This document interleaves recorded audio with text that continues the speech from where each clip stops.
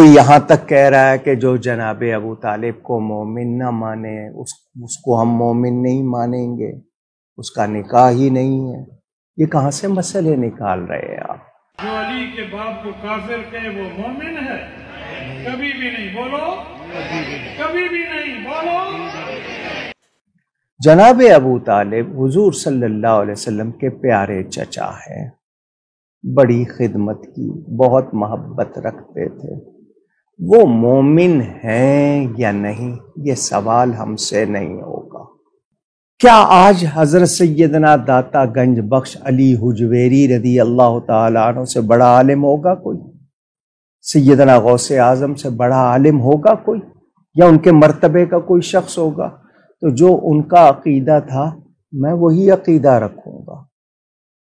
मुझे आज किसी नई तहकीक की ज़रूरत नहीं है। दाता साहब रहमत बास असल में ये कर रहे हैं, हिदायत ये फजल रबी है। इसमें ना तो इस चीज़ का दखल है कि हिदायत लेने वाले की अकल बड़ी तेज थी, लिहाजा पार हो गया। ना ये कि दलील बड़ी चमकती थी तो अंधेरे दूर हो गए। दाता साहब कहते हैं छोटी का अकलमंद हो। और कामिल तरीन दलील हो। फिर भी फजल खुदा ना हो तो हिदायत नहीं मिलती। ये साबित कर रहे हैं दाता साहब। आप फरमाते हैं, मुस्तदिल, अज अबू तालिब आकिल तर नबाशत मुस्तदिल होता है दलील तलब करने वाला। किसी को देख के कोई हुक्म अखज करने वाला। मुस्तदिल अज अबू तालिब आकिल तर नबाशत बनु हाशम की जहानत तो बहुत बड़ी है। दाता साहब कहते हैं, अबू तालिब से बड़ा जहीन बंदा कौन होगा? जिसने अल्लाह के एक होने की दलील ढूंढनी है। मुस्तदिल।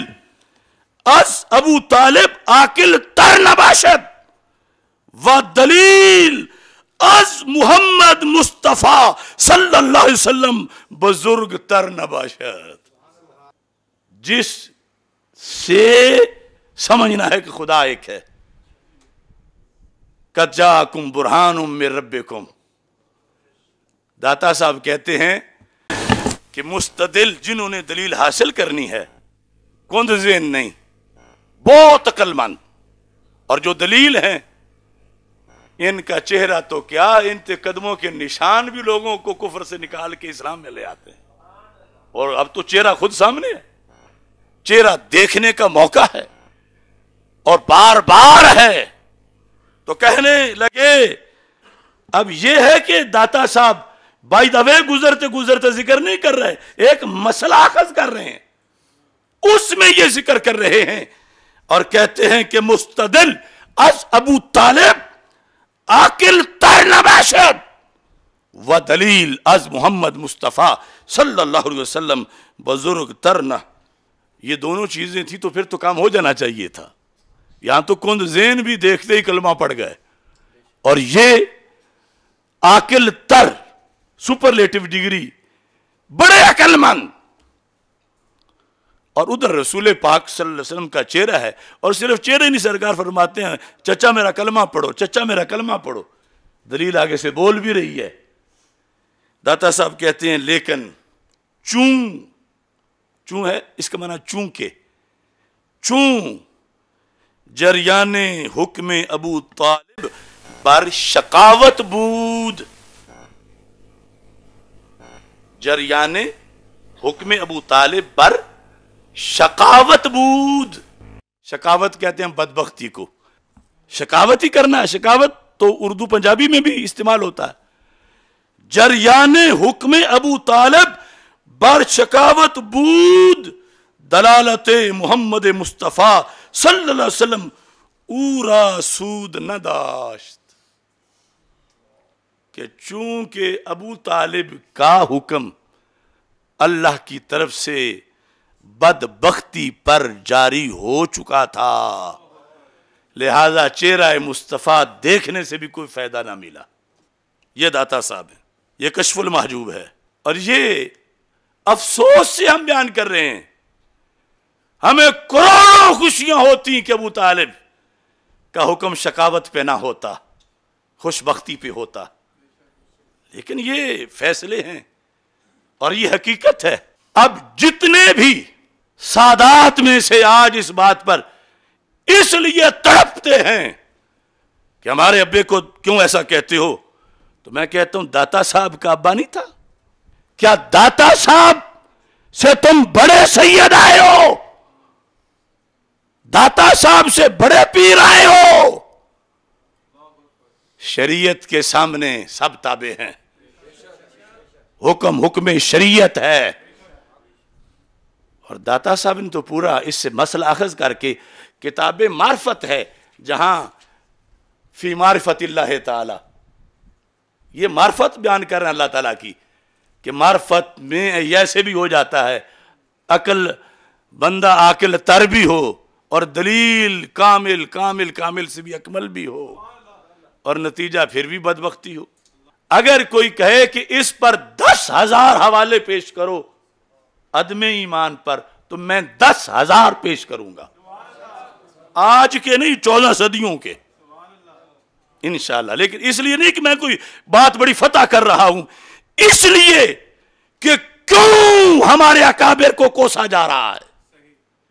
क्यों दाता को गाली दी जा रही है? क्यों इमाम आज़म अबू हनीफा को गाली दी जा रही है? क्यों इमाम बुखारी, मुस्लिम, इब्ने माजा, राज़ी, तहावी, बुसीरी, अस्कलानी, इन सबको क्यों आज के लुंडे काफिर कह रहे हैं इस मसले की आड़ में? यह है जिसलिए मैं कह रहा हूँ, अगर ज़रूरत हो किसी को तो पेश करेंगे। और बतौर खासू के दाता साहब का उर्स है तो मैं औकाफ को कहता हूँ, मेरा फतवा नहीं, बरेली शरीफ का नहीं सरहद शरीफ का नहीं, ये तो लाहौर शरीफ का दाता साहब का अपना फतवा है और दाता का दरबार है। पूछो इन पीरों से,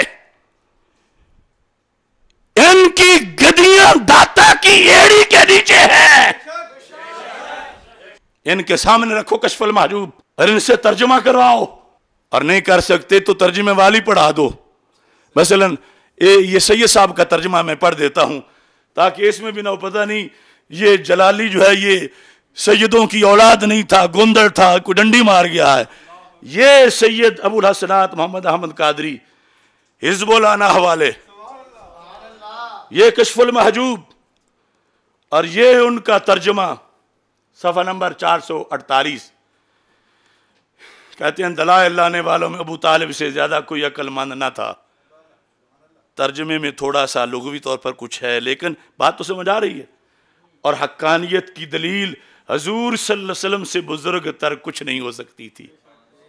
मगर जब के जरियान हुक्म शकावत अबू तालब पर हो चुका था, हुक्म शकावत हो चुका था, ला महाला, हजूर वसल्लम की ज़ात अकदस भी उसे फ़ायदा ना पहुँचा सकी।